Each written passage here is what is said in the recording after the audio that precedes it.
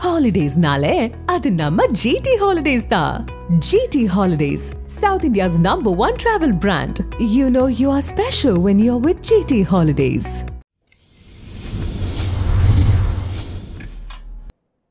Big Boss season seven தமிழ்ல task விட கான்ட்ரவர்சியான டாபிக்ஸ் நிறைய போயிட்டு இருக்கு நிறைய சண்டைகள் நடக்குது. நிறைய விஷயங்கள் கண்டென்ட்காக பண்ணிட்டு இருக்காங்க அப்படின்னு மக்கள் மத்தியில பேசப்படுது. அந்த வகையில ரீசெண்டா வந்த ப்ரோமோல பாத்தீங்கன்னா ஜோவிகா அவர்கள் பயங்கரமா அழறாங்க. நான் வீட்டுக்கு போகணும் நான் எங்க அம்மா கிட்ட போகணும் அப்படின்னு சொல்லி நான் ரவினா அவர்கள் நீங்க ரொம்ப கேங் கேங்கா சுத்திட்டே இருக்கீங்க. அந்த கேங்குல இருந்து வெளியே வாங்கன்ற மாதிரி பயங்கரமா கிண்டல் பண்ணிருக்கிறதாகவும் ஜோவிகா அவர்கள் நான் கேங்லயே கிடையாது. நான் பாட்டு என்னோட கேம் விளையாடிதான் இருக்கேன். அப்படி சொல்லி சொல்லி வெளில அப்படி ப்ரொஜெக்ட் ஆகுது. ஏன் அப்படி சொல்றீங்க ரொம்ப கஷ்டமா இருக்கு நான் வீட்டுக்கு போகணும் அப்படின்னு சொல்லி பயங்கரமா அழறாங்க. அண்ட் அது மட்டும் இல்லாம ரவினா நான் உங்களை சொல்லவே இல்லை அப்படின்னு சொல்லியும் எம்மா தாயே நீ விட்டுருமா நீ என்ன வேணா சொல்லிக்கோ நீ என்ன சொன்னன்னு எனக்கு நல்லாவே தெரியும் அப்படின்ற மாதிரியும் சொல்லியிருக்காங்க. சோ இந்த ப்ரோமோ வந்ததும் மக்கள் எல்லாருமே அவங்களோட கருத்துக்களை தெரிவிக்க ஆரம்பிச்சாங்க. அதாவது ரவினா தான் வந்து உசுப்பேத்தி விடுறாங்க. ஜோவிகாவை எப்பவுமே ஜோவிகாவை மட்டும் இல்ல ஹவுஸ் மேட்சர் ரவினா பயங்கரமா உசுப்பேத்தி விடுறாங்கல்ல அப்படின்ற மாதிரியும் சொல்லிட்டு இருக்காங்க இன்னும் சிலர் ஜோவிகா ரொம்ப பாவம் ஏன் அவளை அழ வைக்கிறீங்க அப்படின்னு சப்போர்ட் பண்ணாலும் இன்னும் சிலர் நெகட்டிவா ரவினா சொல்றது கரெக்ட்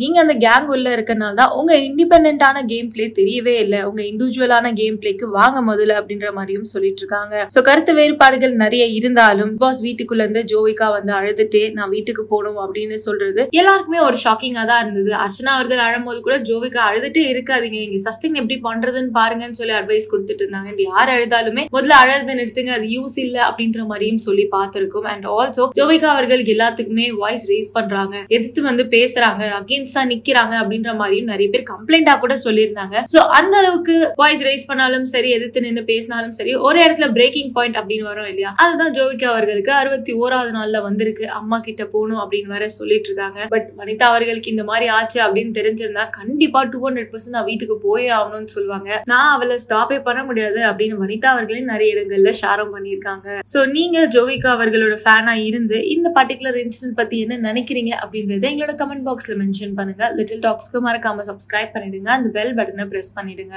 இப்பெல்லாம் நிறைய பேர் ரிவ்யூ சொல்ல கூட பயப்படுறாங்க. ஏன்னா வனிதா அக்காக்கு ரீசெண்டா யாரும் வந்து அட்டாக் பண்ணிட்டாங்க அப்படின்னு சொல்றாங்க.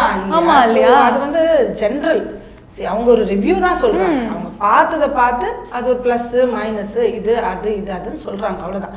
ஒரு ஒரு எப்படி சொல்றது? அவங்க அதை நம்ம எப்படி எடுத்துக்கணும்னா ஓகேப்பா ப்ளஸ்ஸாக இருந்துச்சு. ஓகேலப்பா மைனஸ் அது அவங்களோட பார்வையில். Opinion. உங்க பார்வையில் எப்படி இருக்கோ அது நீங்க உங்களோட அதுக்கு அடிக்கிற அளவுக்கு போகணுன்ற அவசியம் இல்லை நினைக்கிறேன். அதுவும் இப்போ இருக்கிற ஜென்ரேஷன் இப்போ இருக்கிற ஜென்ரேஷன்லாம் நல்லா புரிஞ்சிக்கக்கூடியவங்கள தான் இருக்காங்க இல்லையா?